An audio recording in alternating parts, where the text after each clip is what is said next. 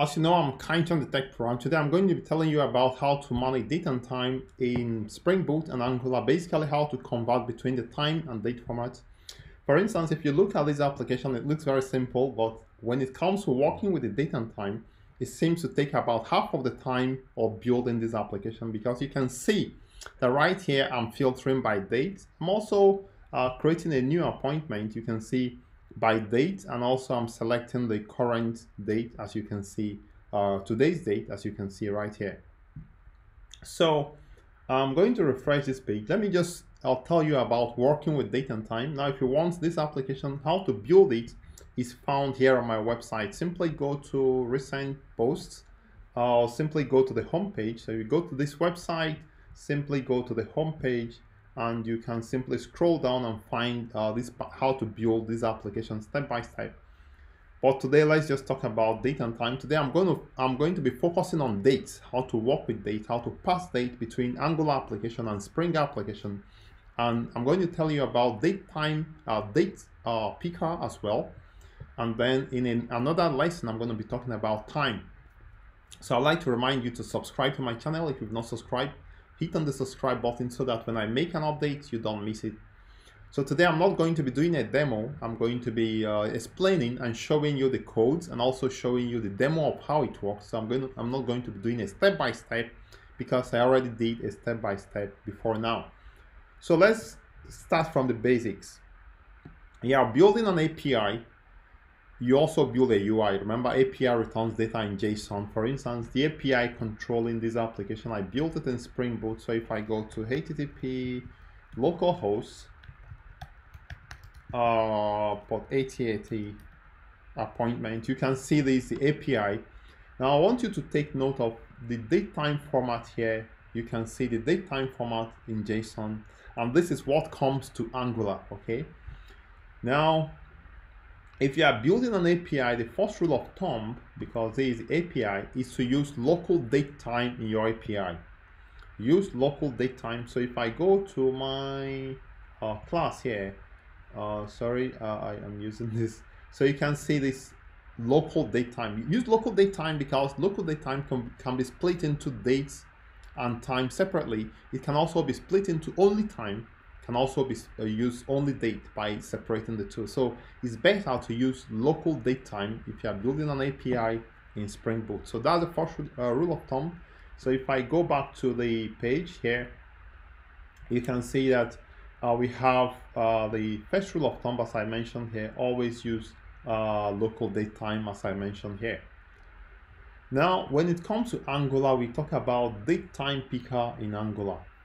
Now to be able to use datetime picker in Angular, you need to install a module called uh, this ng, let me just shift it up here. You need a module called ng bootstrap, okay? So this ng bootstrap, you need to add it to your application using this code here. Uh, or the step-by-step -step is already in a different place, so I'm just going to be explaining to you.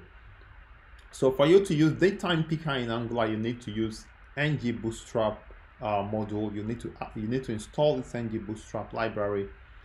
So now when we come to, if I click on new, new appointment, you can see that we have a datetime picker here. This datetime picker uh, represents an NGB, NGB date picker. That's name. Now, for you to get an NGB date picker, let me just show you the code now we are talking about Angular now, so let me just uh, minimize this one. Let me just minimize this one. So in Angular, you want to uh, get a date, you need to define uh, what date is coming from the NGB picker, but let me show you the HTML markup. So this is HTML markup for NGB date picker. The name is appointment time. NG model equal to appoint, appointment time binds this date picker to a variable in the model okay? Take note. So this is a two-way binding that we are doing here. You are using name. You also use ngb model ng model in case of reactive forms. Now we are talking about reactive forms because we are also going to submit this form. And then we also have ngb date picker defines this as an ngb date picker So this allows you to also enter manually a date in the date object or also select a date based on a different on a particular format. Now the format you define in the placeholder defines the format that the text box, because it's actually a text box, the text box or control is going to accept. Okay, so let's go back to the page. So this is what I explained right here. Okay, so I'm going to proceed. Now, if someone selects a date, how do you get this selected date? Now listen to what I explained here. If a user selects a date in the date picker, for instance, a user comes here and selects a date, how do you retrieve this date in your component? So if we go to the um, to the appointment component, now we have appointment time ngb date. The date picker control in the form returns an ngb date. An ngb date is not the same as a date object. They are two different things. An ngb date stores dates in a different format than date. That's what you first know. So if you get the appointment time, you cannot just work with it. You need to first convert it to an ngb date, to a date object using uh, date function. So basically, when we want to uh, let's say uh, create a new uh, this we want to create a new a new object we first have dates and then we have new ngb date okay sorry this we are talking about assigning a date to the ngb uh, to the date picker. So i think it's better i just explain it from my website because it's clearer. You may want to set the date. Maybe you want to set it to today's date or to or something and also you want to retrieve the date from from that from the ngb date picker you need to do two things in reverse. Remember the selected date is available in the appointment time variable. So if you check the appointment time you have ngb date object. This is not the same as date i repeated it before. Now to convert the ngb date to date you need to use a date function and extract the year month and day from the ngb date and create a date object that you can work with okay? Then once it comes to setting the, the value or the content of the ngb date picker on the control you need to convert the date to ngb date. Also in this case you use ngb date function. So it's very easy. You have the date function you have ngb date function. The mistake that some make is to use dot year dot month and dot day.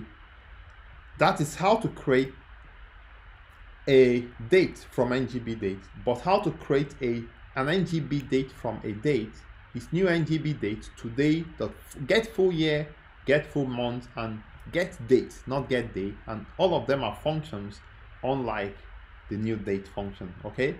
Hope this is clear.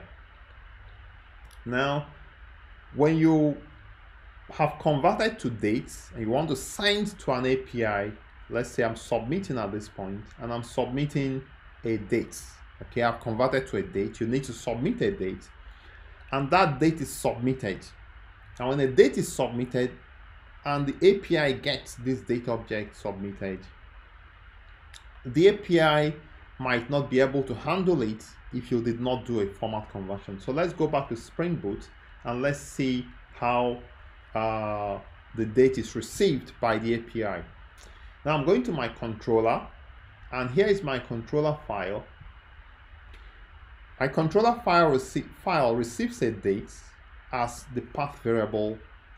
When it receives this data as a path variable, it's a date object from Angular.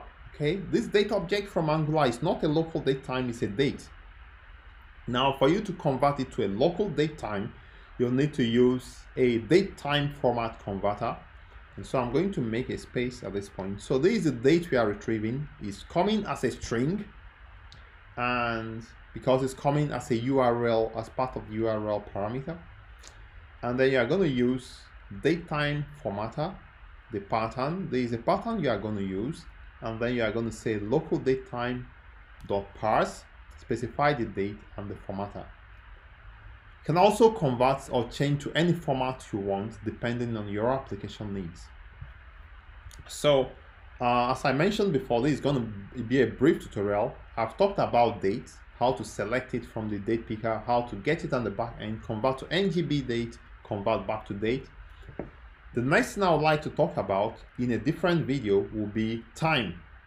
Because sometimes in case of appointment, appointment is based on a time frame. So you have an appointment on by today, it's not the whole day. It may be 12 o'clock to 1 o'clock. So you have to select the time, possibly select the time span or the duration of this appointment, right? So that's a bit more dicey. It's a bit more um, uh, hectic, a bit, a bit more challenging, but not too difficult. We are going to do it in a different part. So try to play around with this application. Try to see the step by step in my website. And also free, feel free to leave me a comment or to leave me uh, to tell me if you have any challenges following this uh, is this explanation so far. And I'm going to be making more lessons after now. I'd like to thank you for viewing. I'd like to thank you for being there. And I remain Kindson the Tech Pro. I'm also reminding you to subscribe to my to subscribe to my channel. Also like and share my videos and let me know uh, how you feel. So we see in the next part.